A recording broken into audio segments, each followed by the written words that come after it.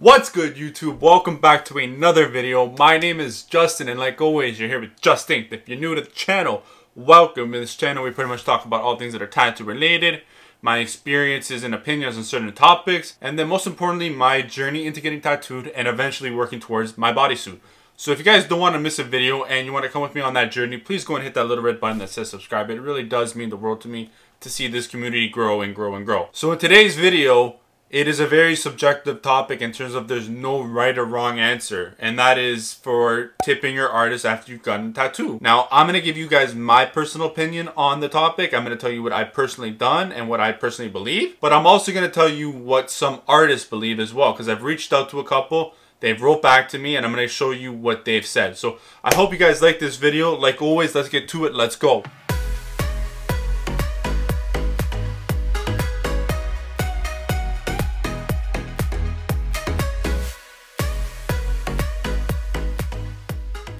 So I've been asked this question quite a bit and you know what? I've never really had a straight answer to give somebody. I remember the first time I really got this asked, I was getting my tattoo done and somebody that was also getting their tattoo comes up and they're like, how much should we tip? And at that time, I really didn't have an answer for them, but I really thought about it and now I really do have an, a better answer or better guidance for all you guys that are debating on what you should tip, how you should tip. I'm going to break it down into what I believe is the four factors into tipping your artist. First one is where you live. The second one is financial status. The third one is, and this is probably the biggest one, is your artist. And then the fourth one is how you feel after you got that tattoo and when you're leaving. So I'm to go into more depth on each one. So let's get into the first one. So the first one, like I said, is where you live. If you live in North America, it is most likely that you have come accustomed to tipping. Now, it is just customary to tip your ser in any service you get, whether it be, you know, getting your haircut, tipping your waiter or waitress, you know, those are some things that you know we just have to do now. We we come accustomed to it and that is the 15 18 20 percent rule tipping on you know their service. I'm gonna get into this. I don't really believe tipping for a tattoo is the same amount and goes on the same basis but like say you live in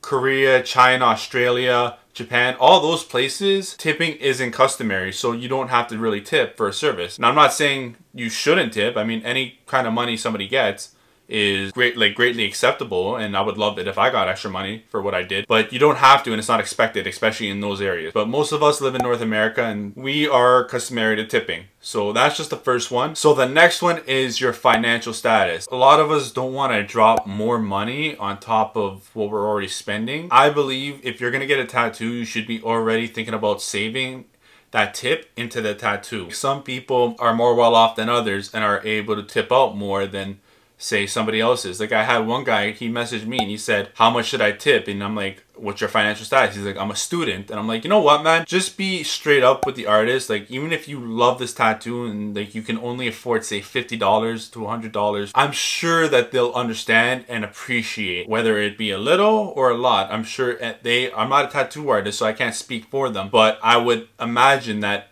just the appreciation of you giving me something is what means the most and what I would actually just in the end at the end of the day love. So I have an example for you guys here. This is one of my artists that goes to the shop I go to. I uh, DM'd him and I asked him the questions about, you know, tipping. This will be a good example for you guys to know and see what an artist believes and feels. So I pretty much started off the combo. I just said, hey bro, what's up? Glad to see you traveling and all. And then I said I had a question for you and that is about tipping your artist. He said right away, I think in the States and Canada is part of the culture. He says pretty much he lost his AirPods in Denmark when he was there.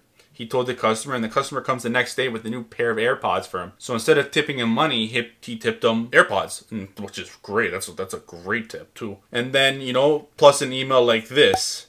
And you guys can see just he says, I just want to say thank you. I'm so happy with the way my tattoo turned out. So and then he goes on to say that is priceless. And you know, more than money, man, I feel blessed. So, and then I go on to ask him, I just said, money doesn't have to be everything. It should be just um, appreciation and respect aspect of it. So as you guys can see, it's not always money that you need a tip. It can be somebody brings them food or they bake them something or, you know, they help them out in some way. So a tip doesn't always have to be about money. It can be something else. Obviously, money is always a great little extra, it's extra cash in your pocket, but it doesn't always have to be that. So let me know what you guys think in the comments below with another good tipping idea is to your artist that maybe doesn't have to do with money. Um, there are many ideas. I would love to see what you guys do and probably give other people ideas as well into tipping their artists. Say they don't have the cash for it, but they can do something else for them. So go ahead and do that for me, please. Number three, it is your artist. And this is probably the biggest one. The reason why I say this is the biggest one because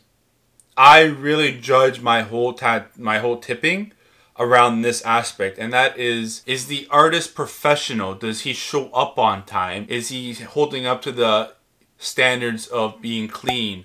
And then also is your artist just a nice person? Does he make you feel welcome? Does he make you feel happy to be there is he uh, is he accommodating to your needs? Say you need certain things. Is he accommodating to that? Those are little things I want you to know in the artist. And then the last tip I have for you guys is, you know, just how you feel after getting your tattoo done. Like I'm going personally for this. Every time I've gotten a tattoo, I have left so happy and so excited about what I've gotten on me. It's it, it just blew my mind. It was better than I expected. I no longer thought about the money. I just want to show my appreciation. And I, I, I sometimes I had eighty dollars, and I'm like, you know what, man? Here's an extra twenty, just because my mom did the same, my sister did the same. They've tipped more just because they've walked out so happy with the piece, the experience of the artist, and all that. So those are the tipping factors I have for you guys. I hope it really helps out. Now I have one more convo I have with another artist. This is from my sister's artist. I asked him how he feels about tipping the artist, and it, uh, and I'm gonna show you the combo right now here. He pretty much again says the same thing. He says it's great to get a tip and money especially, but it's not expected, and they just really care about you showing appreciation and respect towards all the hard work that they put into that. They put a lot of painstaking hours into the design, into sitting down with their back hunched over and just constantly going at it. So the main thing and the main thing to take away from this is just to show your respect in any way you can possible. Anything really helps, I, I believe, and we shouldn't be basing it off the 15, 20, and 15, 18, 20% rule that it applies to in most service industries because this is a little bit of a different service. I hope this video helps you guys out and coming to a, a, conclusion on what you should tip your artist. Just show your respect towards them, show your appreciation, and that does go such a long way in terms of them remembering you and maybe helping you out next time when you get another tattoo by them. Go drop a thumbs up if you really did like this video and you think it helped you out. And also, again, comment uh, what you think about tipping. Should you be tipping them the 18, 15, and 20% rule? Or do you believe tipping them anything and showing your appreciation and give maybe some ideas that you've done? But I hope you guys liked this video. Like always, guys, Justin out.